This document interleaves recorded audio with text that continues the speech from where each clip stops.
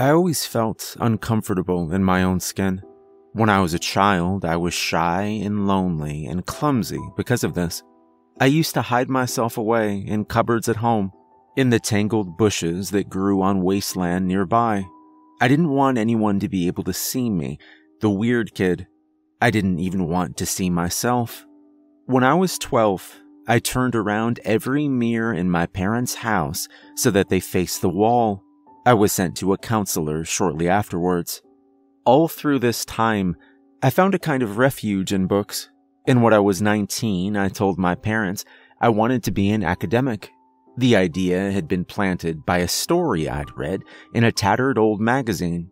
There was a profile feature of a professor of literature. He'd been nominated for an award and was pictured in the wood paneled room lined with books that seemed to stretch on forever. I attended an open day at a nearby university as part of my new ambition, but the crowded campus and the way that lecturers had to stand at the front of the room, all eyes on them, was a crushing experience. There was no way I could do that. My parents, though, continued not to give up on me, and it was my mother who first suggested I look at becoming an archivist. She died 10 years ago of cancer, and I miss her every day. My father is still alive and in our residential home, but he no longer knows who I am. I have a lot to be grateful to them for. Not least, that suggestion. After studying at home for a number of years, I did become a qualified archivist. And after a number of other positions and aged 45, I was working in a facility caring for and cataloging a fascinating and intriguing collection of objects I would have described this as a dream come true until a few days ago. It was a 24 hour a day, 7 days a week operation with all the staff working shifts. I preferred nights as the streets were quieter as I drove the short distance from my parents' old house, where I still lived, to the archive. That was the only name I'd ever heard it called, and had never asked if there was a more individual designation. Questions like this were strictly no go. Alongside, who actually owned and ran the archive, and why? In my idle moments, I imagined it was a branch of the government which kept itself well clear of the media and elected representatives, but as long as they paid me every month, which they did and handsomely, and I was allowed to keep working there, I was happy in my ignorance.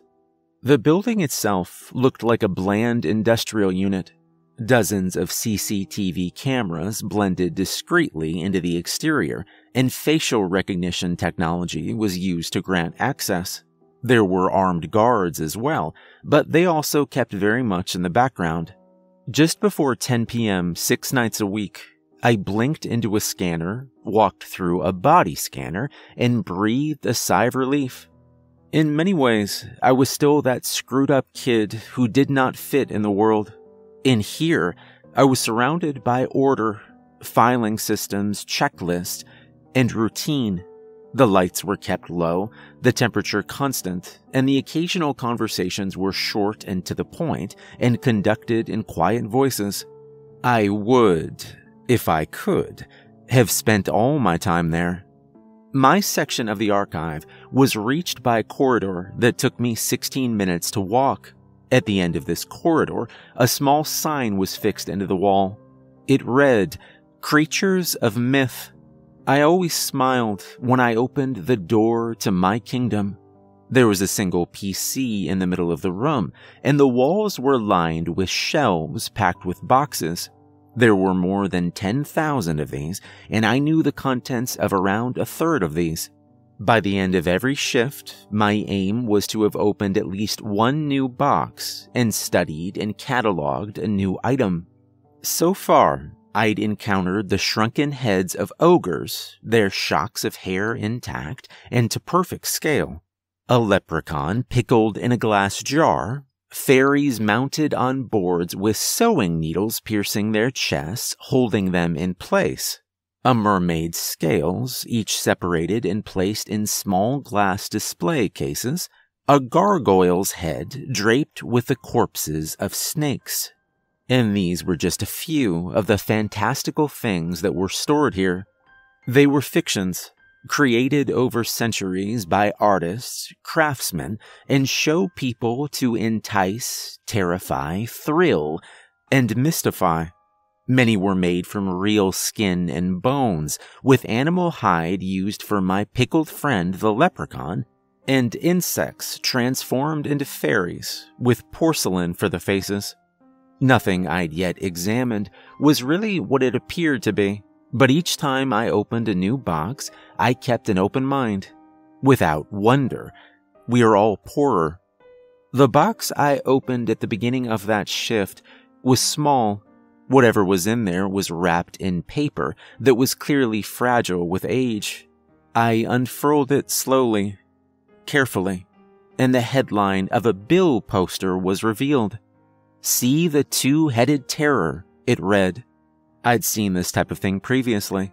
It was for a freak show, probably of the Victorian period from the design. I continued opening out the poster until I could see what it held.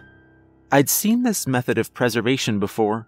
Mummification was effective and relatively simple, and I believe the thing I held would have been made especially for the freak show. The rat's body was intact, down to its slender tail, and it was impossible to tell which of the two heads was its own and which added after its death by the maker of this bizarre yet engrossing specimen. I logged on to the PC, selected the next available serial number, and began to type up a description for the archive's database. Time passed, and I was oblivious to anything else until there was a gentle knock on the door. Michael Malone was the head of staff at the archive. Quietly spoken and rarely seen outside of his own office, I was jolted by his appearance. Can I sit down? He asked, which threw me even more. The last time he'd asked me a question was when he interviewed me for the job. He pulled up a seat without waiting for me to answer. I wanted to tell you personally, he said, rather than just email you like I was told to do.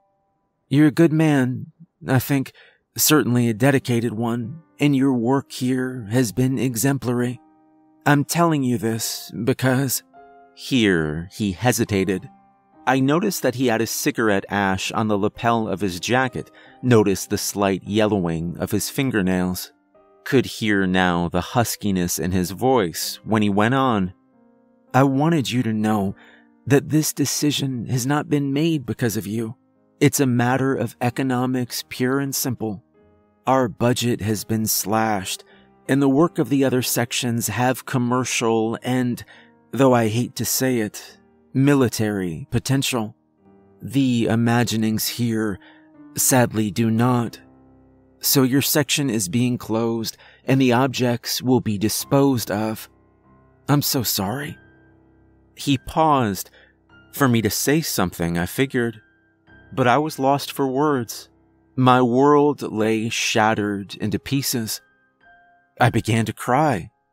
Malone cleared his throat and got to his feet. I'm afraid this is with immediate effect. Your security clearance has been revoked, and you need to leave. He had the good grace to look embarrassed and added, If you'd like a few minutes alone to compose yourself, then I'm sure that would be fine. Then he left. I wiped my eyes. One thought began to burn inside me. I had to save her. When I arrived home an hour or so later, dawn was close. I closed all the curtains, then sat in the kitchen. I was soaked in sweat and shaking as I took the small box out of my coat pocket. Walking down the corridor, leaving the building and heading to my car, I'd expected at any point to be stopped and challenged. But I'd made it. I'd smuggled her out of the archive and brought her home with me, where she'd be safe. I lifted the lid of the box. Inside was a second container. It was wooden, ornate. A miniature was affixed to it, an oval. Her eyes reached out to me from it. Her gentle smile. My love. I said, I'd always been alone as an adult. I think there's a saying that you have to love yourself before someone else can love you. And I never would. Is it pathetic to have fallen in love with a young woman who I'd only seen in a portrait painted hundreds of years ago? Judge me as you will. My heart was captured, and I did not want to be released. I rested my fingers on the miniature, closed my eyes. Below it, I knew, from where I first opened the box, was dust, fragments. I could never go back to the archive, so I had nothing else. It was time to do something I dreamt of, had longed for. It was time to discover where my obsession would lead me. I took the sharpest knife I could find in the kitchen and rolled up my sleeve, then opened up the wooden box, revealing the dust. Then I drew the blade across my skin and watched as my blood began to fall. There was a hiss and steam began to rise, gray wisps which curled and joined until in their depths I could see a smile, fangs, a tongue flickering. I staggered backwards, fell and lay cowering on the floor. Fear pulsed through my veins. I could only watch then as she was remade. Two days have passed since then, and my mind has raced with thoughts of what could have gone wrong. Had the dust become impure once I opened the box? Was my blood not good enough? Like me? Whatever the reason, she is not as once I believed she had been, before a stake pierced her heart. Her limbs are not fully formed, her torso is twisted, and she is blind. Her eyes are faint, unseeing traces below the skin of her face. Her teeth, though, they are sharp and keen. She's asleep now, after once more taking her fill from me. The house is quiet, draped in darkness. My neck stings. My heart races. I do not know what will become of me. And for the first time in my life, I do not care. I am free.